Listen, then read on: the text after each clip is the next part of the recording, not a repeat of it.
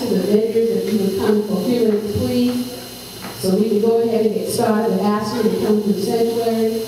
Um, What it is, we have the fire department here with us this morning. Uh, They want to brief us on fire safety. So I'm going to go ahead and have a reading. Once after we have the reading, I'm going to have the fire department come in for a few minutes and give us a brief on fire safety and fire hazards. And then after we'll go into our part of our uh, workshop.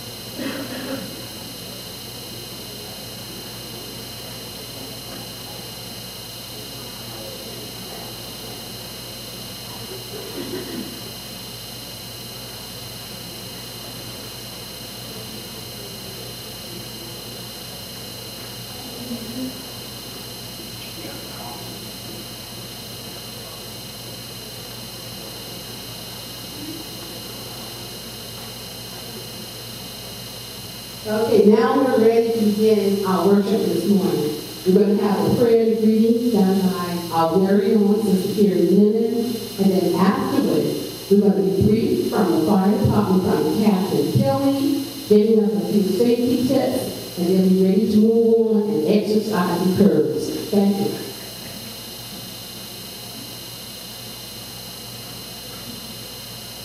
Good morning. Good morning. Well, we feel the number and, you know, I'm Carrie Lynn and I'm unique about how I do things, not only the what is protocol, so that's why I choose to say I'm a friend to everybody. First of all, we're all here together and on behalf of the pastor and his lovely wife here, uh, Reverend Jones and Mrs. Jones, who's okay, you want to say first lady Jones, I can say that too. But I Mrs. Jones, or I even say every day. But anyway, this is, we want to say welcome to all of you, first of all. We want you to, first of all, feel at home. We want you to feel close to each other. And I have this thing about when I see people, I don't care who you are, I have to greet you. I have to greet you because I'm so grateful that I am able to greet you. I know a lot of people have things to do, but there's nothing greater than acknowledging the God that gives us this opportunity to be here. So I greet you in the spirit of love. I greet you in the name of the Lord and Savior Jesus Christ. And I greet you with just the goodness of humanity. That's the reason we're here today. And celebrate who we are. We're going to move the thing that has been given. And if I sound a little excited, it's because I am because I am a woman.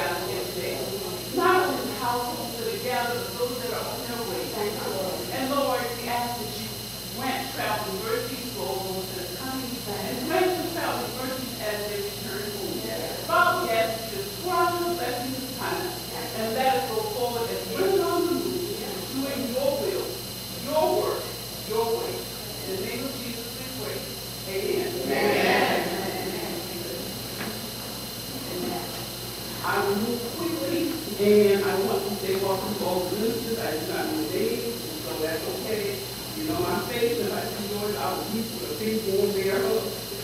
And if I don't know your name, or sometimes it's just a face, I may remember, it may slip, I'm over sixty, so I can do that. And so, Whatever the case may be, please feel welcome, please feel at home, please enjoy, and, and take in some of everything that's been prepared here for you today.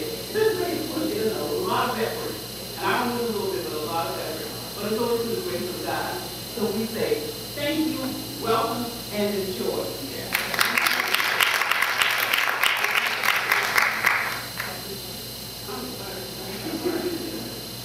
How's everybody doing this morning? As y'all are here enjoying this conference, we need to remember to be safe also. So as you're going through, I know some of y'all are visitors here and not regular attendees, so try to familiarize yourself with the exits. That way if anything happens, you know the best way to get out. Also, one thing that's often overlooked in churches, how many of y'all have worked in a business or a school or something like that that has a fire drill and escape plan? How many of y'all at your church, does everybody at your church know what they're gonna do on a Sunday morning if there was fire inspection? Not very many. It might be something to get with your deacons or trustees or whoever oversees the security of the church. Come up with a plan and train your ushers on being crowd managers to assist people in getting out and how to get out. Um, also, those of you that are on John's Island, Key West, Seabrook, or Wadmalaw, We'd like to come in and help you make your church safer. You contact myself or Keith, we'll be more than happy to come out there, do a walk through the church. There's no fines, there's no penalties. Just to try to make it safer for everybody to come and check the kitchen, check the other areas, make sure your extinguishers are up to date your exits are properly lit.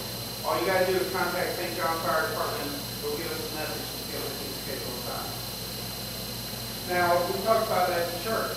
How many of y'all have done the fire drill at your house? A of y'all. How many of y'all have children or grandchildren come spend night with? God forbid that something happened in your house that night and they don't know what to do. So even when they just come visit for a night, we still need to have a meeting place and tell them the different ways they can get out. And your meeting place is somewhere out in the yard. Either the neighbor's front porch, big tree, you can even make marks in the driveway. We used to tell people to mailbox. We don't want you to use mailbox anymore. The reason for that is it's your address on the. And that's where big red trucks, the ambulances, and police cars are all looking for. So we don't want a small child standing out there at two o'clock in the morning next to the mailbox out here on Wadmalaw where it's so dark. It could be dangerous. So we want everybody in the same spot. We always tell small children, take that glue on your hand. When you get to your meeting place, you stick your hand on there. You don't take it off until you're adult, a firefighter, a police officer, or an EMT tells you to. Because we don't want you come out of the house looking for your child and they say, it's cold out here, come in the house. And then you're going back in the house. So we want to practice. How many of y'all in your pocketbook, your keys go in the same spot, your wallet goes in the same spot, all your credit cards and driver's license go in the same spot, every kind of stuff like that? Probably just about everybody. It's the same thing with your house. You use that same door every time. Even at church, we probably use the same door every time we come in, and we forget about the other doors. So we need to practice using those other doors in the practice as well. How many of y'all have a smoke alarm on every level of your house, outside of every sleeping area and inside every sleeping area? A few of y'all. If you stay on John's Island, Seabrook, Kiawah, or Longmont, we have a program that we call Citizen Safe. Our firefighters come to your house free of charge, install the necessary amount of smoke alarm, put address numbers on your mailbox, on your house, to speed up us finding you, and it's all free. To do that, all you gotta do is call to the fire station, or you can to our website, which is stjfd.org, and under Citizen Safe, there's a sign-up sheet where you can put in your information about contact you, set up a time to come out. They'll also walk through your house until you if they see any hazards in the morning and try to make it as safe as they can for you and your family. Because yes, we have our family home, we have our church family, we're trying to, and for us at the fire department, our fire purpose, our family, and so is our community. So we're trying to take care of y'all and make sure y'all are taken care of as well. If we never have another fire loss, we'll be back. And we'll be here for a little while, probably about an hour or so. If y'all have any questions, feel free to come out. We're out of the narthex, and we'll answer any questions y'all have. Thank you.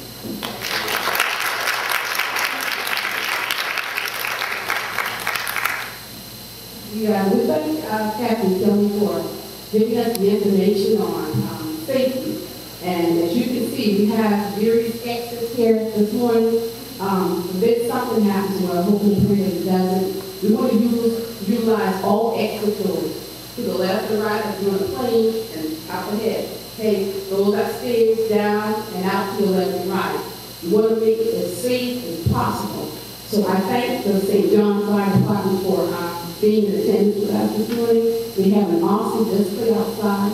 If you want to go and um, do the party and look at the um, display that they have outside. There's a lot going on today because they're scheduled on Seaward and Keel Island.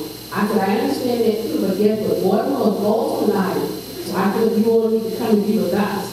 So like you said, he'll be here for approximately an hour, but we have the nurses station, station out here to my front, to the right, inside the educational building. We have certified nurses here on staff in case something happens. The EMS department has already been informed, and fire department also knows. So if anything happens, um, my nurses that are here, nurses, please raise your hand so that they can see who you are. Even if you're not in the committee, that's what you're a nurse. Raise your hand again to be the field. That's our health coordinator. And that's us accountable. These ladies are here, and just down, they go to another nursing, very good. You know, they don't want to be recognized, fine. But what we need you to do, if something's wrong, um, don't want you to panic, just get to someone quickly. Because, like I said, EMS have already been informed that we do have a conference here, and they need to be alert, and so the fire department. So we're not going to play the time this morning, um, we've already had the reading. I thank each and every one of you, I see all my, um, are friendly faces. One of my childhood friends, we've been friends for 62 solid years. It's good to have her among us. So this time, we're going to go ahead and get started. I have Sister Commodore that's going to sit today for Sister Monica Smith, who is our MC, but Sister Monica's out of town because there's a death in her family. So we pray God and speed going to coming, so that's why she's not here this morning. So we're going to have our energized bunny um, to come this morning, Beth, and give us some get up routine. And I did that, but I didn't do about two days of exercise this week, so come bring us the curve, and we'll go from there. Thank you so much.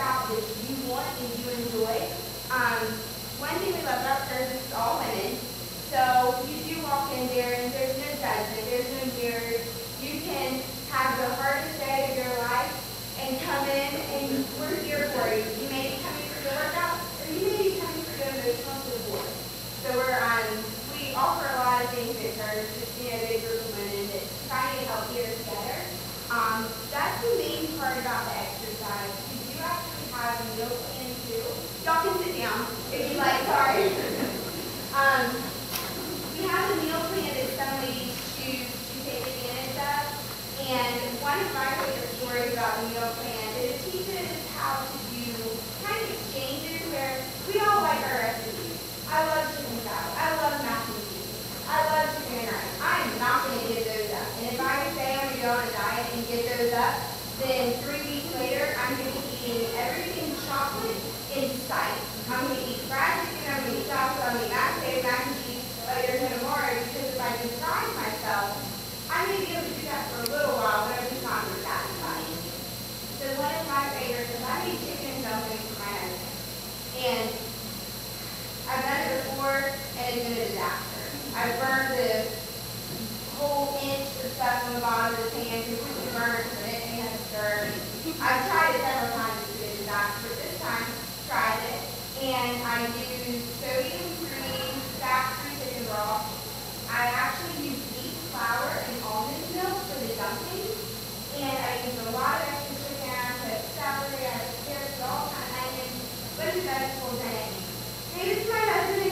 you.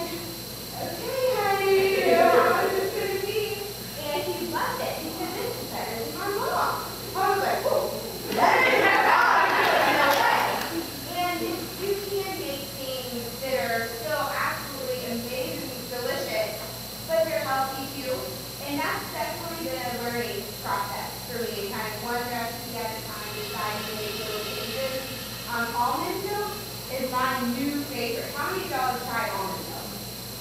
Okay, wonderful. I've never tried it. Um, I've told myself that refuses to drink warm milk. And she won't, she actually won't drink almond milk, sweetened, unsweetened, stuff, but she will not touch milk. So I've been having to use up all of this milk that I've also had her try. And mashed potatoes with almond milk is amazing because it's sweeter and it's thicker. So it's almost like using cream. So anything you use cream for, you can actually use almond milk instead. So we do a lot of that in Curve where we want, we want you to eat your favorite food. We know that your husband, kids, family, if you walk in the door and say, honey, we're changing everything. We're flip-flopping life upside down. We're not eating any of our favorite foods again. There's going to be formal in house. Your kids are not going to eat that's not going to want to come home at night if he doesn't have the state of food. So we understand that because we all have those same situations at our house. Um, that's one thing I really like to tell ladies about curves is we're all in the same boat. We, we different, and I'm 24 and I have a 14 month old. So it's a little different than my mom who has three kids and a 14 month old granddaughter, we can still relate to each other. And just like there, yes, there's things married a life very different than mine. But if I've been married probably seven, eight years since she was a member at John Five, mm-hmm. and we played with John Five when she came to Gerber Pathway. And it's amazing the relationship that you can have at church. Um, I feel like I'm kind of digressing, but I can talk for hours.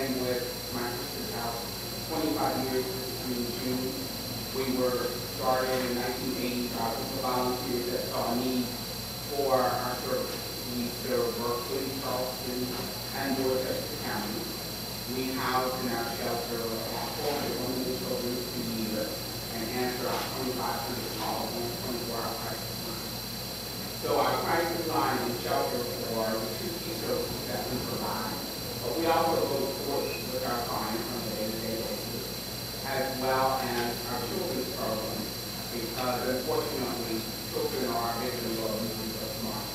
So we do assessments of all children and adults that in our shelters in town.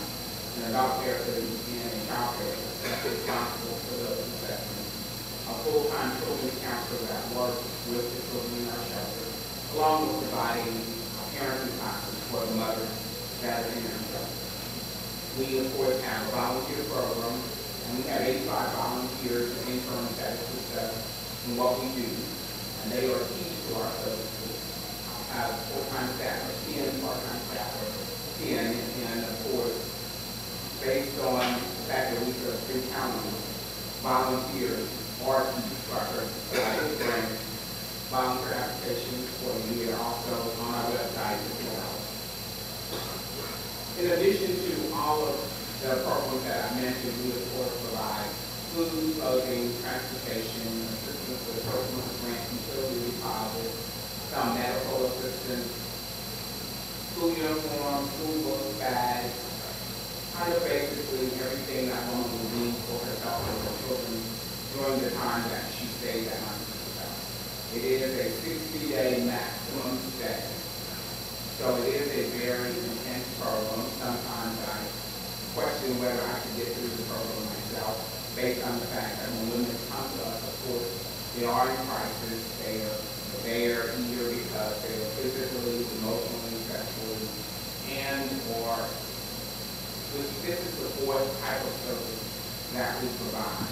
It could be pet and or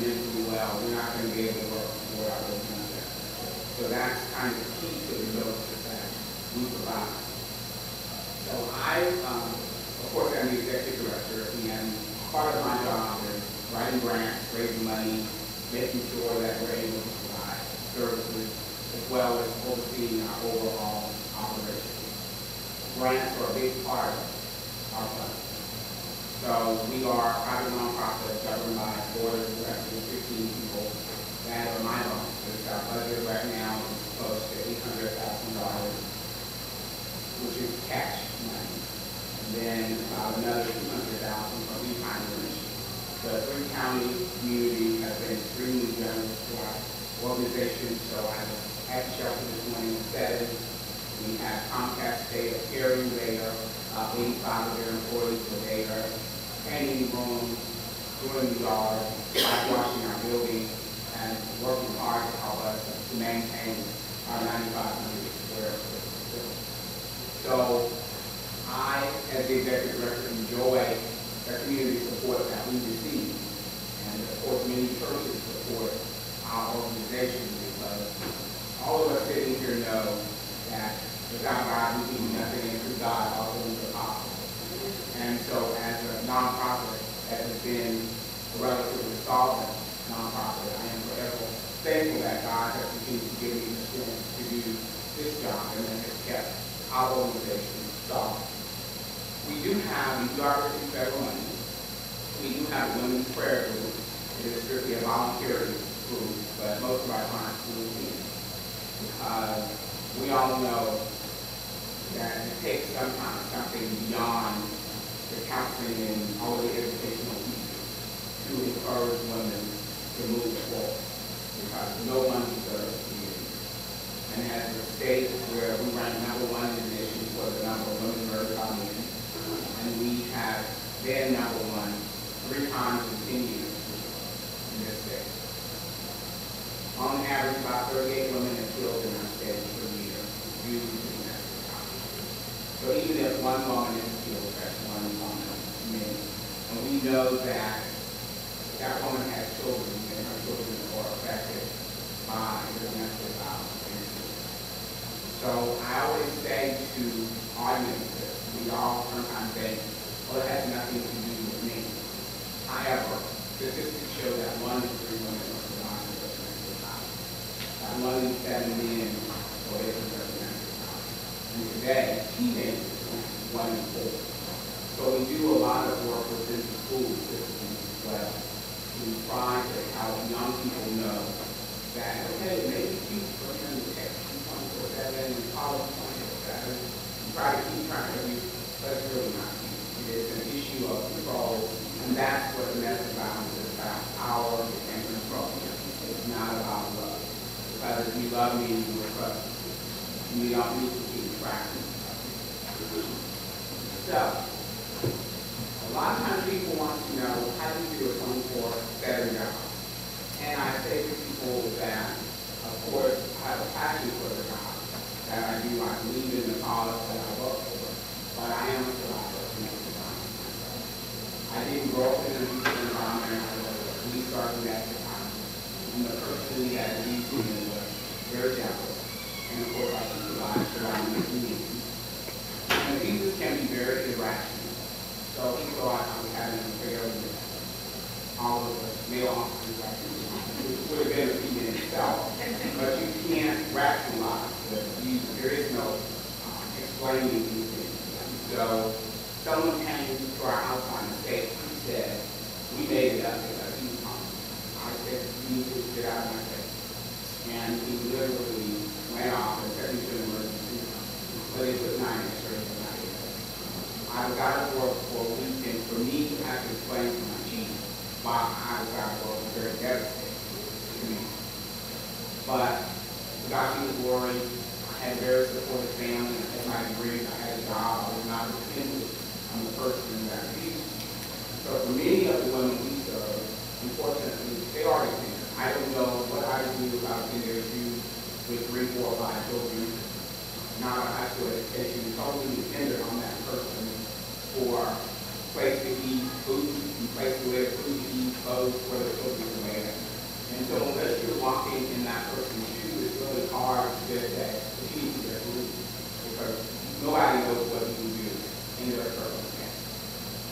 So as staff at sister county, our role continues to be each and every day to empower women to help themselves, to help them to understand that no matter what that person says to you, you don't deserve to be abused. You can do without him if needed. I'm not telling anybody I'm advocating divorce because, you know, if you can work it out, if you can go to counseling, if he's willing to admit a problem, want to work and change, so be it. But until you admit you have a problem, you can't change that problem. We all know that. We just finished talking about exercise. Let's we pull away from the table and change what we're eating. We're not gonna lose anyway. So we all know that we have to want to make a change. Have to admit what's going on and what we're going to change. And in most cases, most of you, it's not your fault. It's it's her fault. And if she would just change. Have dinner ready, kids wise, lose weight, whatever the case may be. And usually you can't please that person. So you correct one thing, something else. As churches who are a big supporter of our organization, you know, money is not everything. So when you give any kind of donation to me, that's our money. So if you do, um, drives for us, all of our needed items are on the wish list. So that ranges anywhere from canned goods to positive detergent, cleaning products, those are things I don't have to buy. Because we clean, we cook every day. So it's always important for me to stress to um, church group that it's not always about money. And we are, of course, a big asset for education, so we do speak to church groups, we do speak to mission groups, we do speak to whatever various auxiliaries you have within your church. And so don't ever hesitate to call us. We're always ready to participate, share, educate, help to be aware of issues in our community and always willing to do that. So I'm going to give you the opportunity to ask questions. I did bring both our volunteer and our organization brochure for you. Questions? How are you involved in this, um, teenagers? Um, I know we're hearing so much now about teenagers being abused by their boyfriends, and girls being abused by their boyfriends. How are you guys involved in that? Like I at high school, middle school, even elementary school, and a number of Sunday school we, uh, So it depends on what age group it is, uh, we do try to bring it down to their level. And we have some male volunteers, so sometimes I've done speech engagements with younger children living in my ethnic group, and the male volunteers take boys, ladies so we can really talk to them about what's going on in their homes because children do know what's going on in their homes. Even though their mothers can tell us, well, no, they don't know, but they can tell us everything that happens in your home. Yeah. yeah. It is. There are several immediate needs lists and then children's lists, so they're all on the website, which is MySistersHouse.org.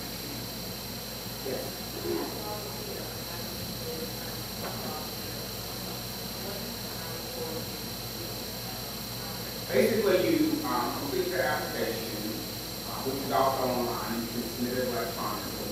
Because of the clients we serve and because of the confidentiality of our location, all volunteers have to agree to a SLED check, child abuse registry check, um, sex offender check, or there's a series of there's also an orientation session that um, people are invited to as a group, just so you can find out more about the organization to make sure that it is the organization that you want to volunteer for. And then there's the basic volunteer training that all volunteers must attend. If you're interested in other components of volunteering, such as family collaborative or children's program, then there's additional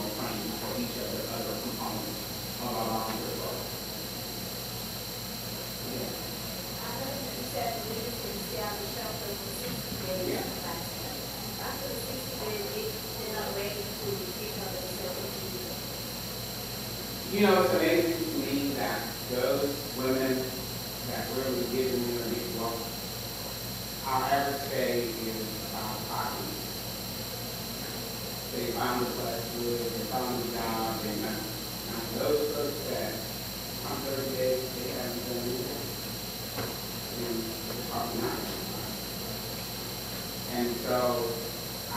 Um,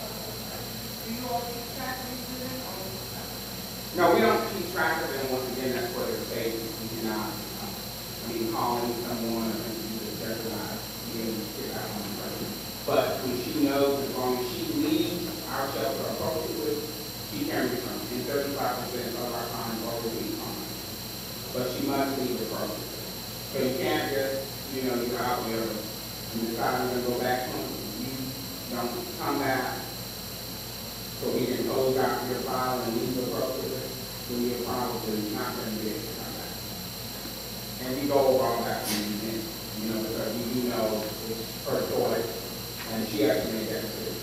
And we wanted to be there for her when she needs our services. But she actually picked take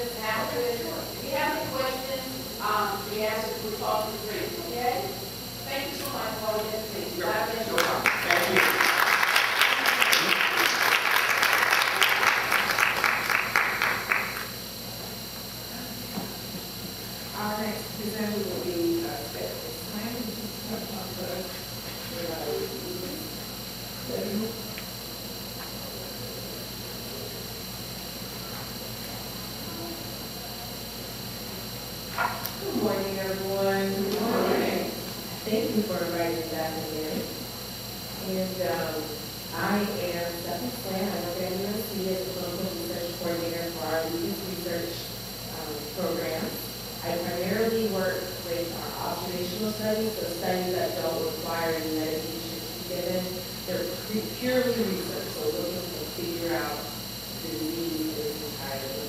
Um, does everybody know what lupus is? Kind of have an idea? Know somebody with lupus, but don't really know what it is? so there are several different kinds of lupus. So you can have systemic lupus, where essentially your body is attacking itself. It doesn't recognize itself as itself, it thinks it's a germ. So you can lose your hair, you get rashes on your skin, be allergic to the sun, as it were. You know, a lot of inflammation in your body, so your lungs get full of fluid around the outside. Um, you have to breathe, you get fluid around your heart sac as well, so making it hard for your, your blood to pump. Um, also some inflammation in your kidneys, which makes it very difficult to process the waste products that you get out of your body, which will cause even more problems down the line. Um, there's cutaneous lupus, which is strictly the skin, so people like Seal, the singer, has just cutaneous lupus. So it, it can be very severe like his, or just be a butterfly rash, and some people get just a little redness over their cheeks, sensitivity to the sun. And then we've also got people who get drug-induced lupus, so being in the hospital for a long time, being on all kinds of medicine, causes their body chemistry to shift, and then their body starts attacking themselves. Um, one case that we had fairly recently is a young lady who's pregnant and has got neonatal lupus. So because her baby and the stress that that's putting on her body, her body started attacking herself. And actually her baby, what was her second pregnancy, the first one, um, she had several blood clots, and lupus can cause even more susceptible to blood clots, and she actually lost the baby at eight months. So there are several different kinds of lupus. I don't think, I mean, I wasn't aware of that when I started working with the lupus group, and understanding that now getting to know my patient, I can be kind of a better advocate for them and kind of understand what's going on. Because all too often people don't look sick. And when people don't look sick, sometimes you kind of like, ah, I'm just playing, or they're just trying to get sympathy, or they don't want to do something, whatever it is. Um, there are several celebrities who have lupus, like Toni Braxton, Nick Cannon, and one of the things I noticed about her reality TV show, she talks about being tired a lot. Lots of our a lot of fatigue, so being out in the sun fatigues them even more than, you know, regularly being out in the sun. Um, so just something to be mindful if you know people who have, or if you feel like you're experiencing these symptoms yourself. Um, it's very important to listen to your body, to be an advocate for yourself when you're in the doctor's office. You know, you feel like your hair's coming out, your skin's little sensitive, you feel really fatigued, your blood pressure's a little too high, you get a lot of swelling, a lot of pain in your joints, very similar to arthritis. Let them know. There are tests that can be run. Um, if you're a little suspicious, we do have a lupus research study that's specifically for people who were born in South Carolina, whose parents were born in South Carolina, whose grandparents were born in South Carolina. So technically, our research term if you, you all from that, mean. The research term, we are all today. So what we do is we ask for members of our community to come in and allow us to take your blood, run you for a test on lupus, so we can compare you to our patients who you know have lupus. So if you're concerned, that's a free get your labs done. and those labs can be fairly expensive, I'm not gonna lie. Um, we ask a lot of questions about your family history. Do you have anybody in your family with other autoimmune diseases? Because we think that lupus is inherited, but we're not really sure how yet. That's why we ask everybody to come in and give us a little blood.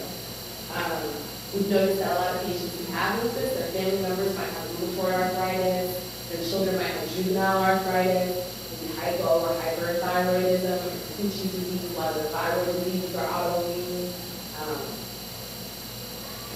sarcoidosis, Sjogren's disease, all those things are also autoimmune and can be passed down through family. We also think that part of what's causing lupus in our community especially is the food that we're eating. So we noticed that bottlenose dolphins in the area are having a lot of issues with autoimmune problems. And what do we eat that dolphins eat? Fish, shrimp, crab. I don't know if they eat. But in the same way that we get our water from our natural environment, you know, we all have pumps or whatever, you know, we don't have wells and we, you know, patronize our riverways like we should, know, boundaries out there, we just run Lord.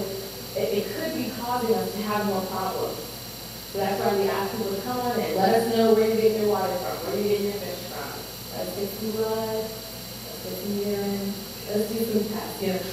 Help us help each other because it's primarily an African American disease, primarily a woman's disease. Most of my patients are female and most of them are black, and some of them are, are six, seven, eight, nine, ten years old when they're diagnosed. And that can be a very scary diagnosis. There's no cure for lupus as it is right now, but there is one FDA-approved medication that was approved in the last couple of years. And we did the research at MUSC. We know that vitamin D is very important, that a lot of us are very deficient in vitamin D. One, because we're not outside, but two, because it might be something, you know, genetic. We might have lower levels of vitamin D, period, and then we're not outside, so we're not getting any more, we're not supplementing our diet with vitamin D rich food. Um, So I asked everybody to please volunteer to in my study. We do compensate thirty-five dollars cash for your time, takes about forty-five minutes. I'll run through questions quite quickly, because I've got them all memorized. I've been doing this for three years now, so I got them all memorized.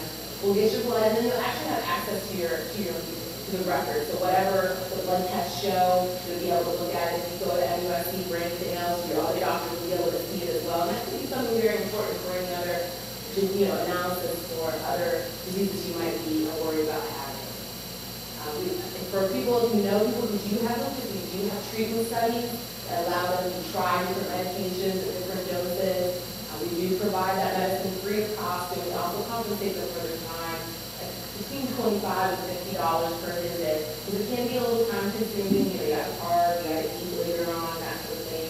You might have to get a babysitter or stay a little extra at daycare, that sort of thing. So we really want to be able to help the people in the community, especially when they're being so big to be affected by lupus. Um, I will leave some information. I'll leave my, um, my card, which is on the mag, if you the refrigerator. We grant five dollars, maybe it's small. I mean, it doesn't need the money, but it's also helping other people as well. Does anybody have any questions about lupus, about research? Yes, ma'am. Uh, we think so. We do think that it's related to heavy metals that may be in the water supply.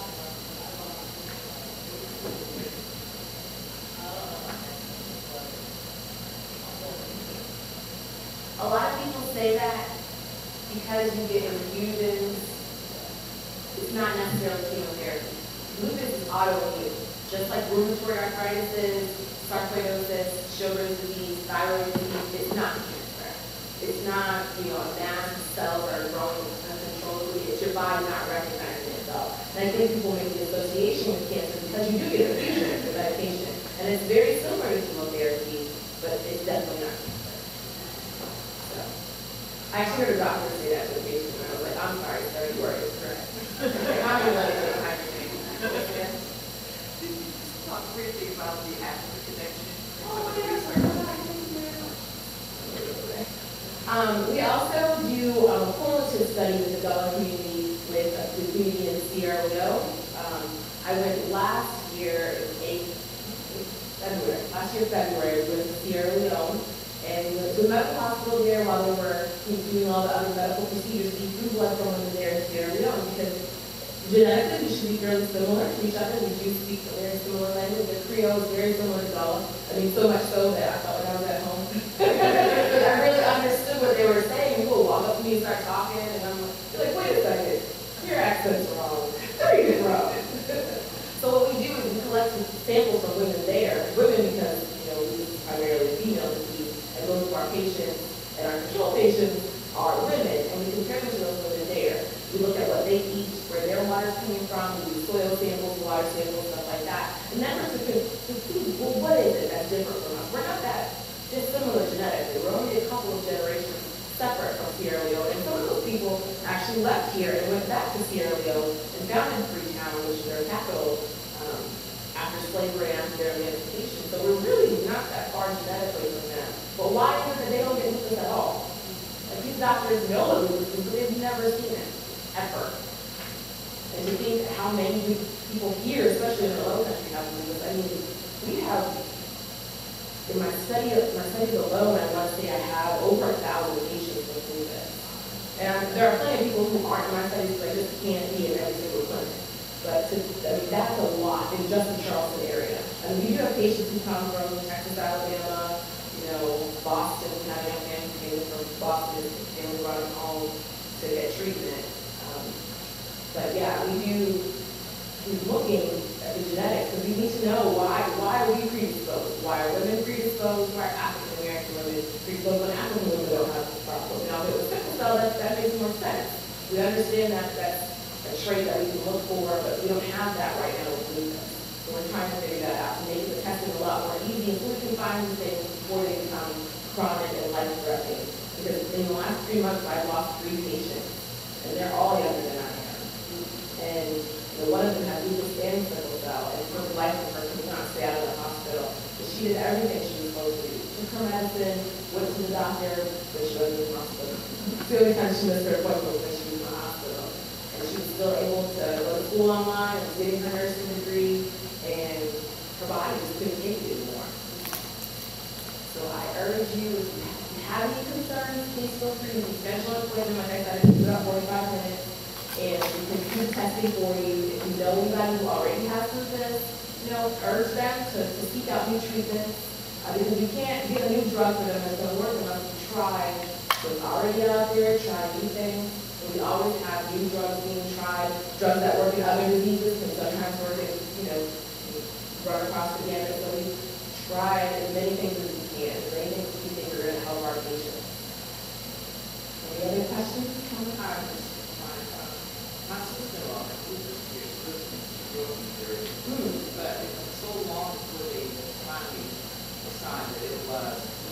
Because the symptoms are so non-specific, and it can be anything, you know, fatigue, every disease causes fatigue. You know, we look at her as like someone poured boiling water on her head, Yeah. a scar all there came out. And there's this, at some point, there is, well, there's something else that we was giving up on. But God's grace and mercy over the years, she's lived to see all the you know, that's how, but she still had autism, a whole lot of other issues that came about Yeah. before this.